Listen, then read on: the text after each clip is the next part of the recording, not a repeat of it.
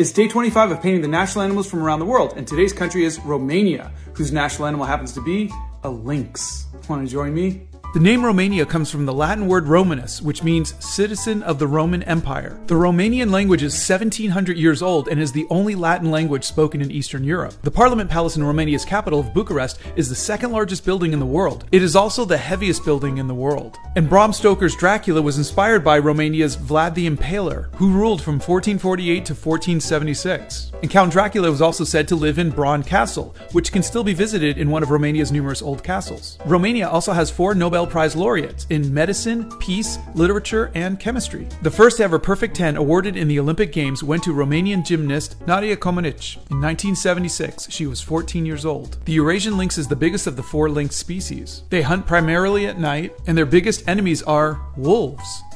And that's my lynx.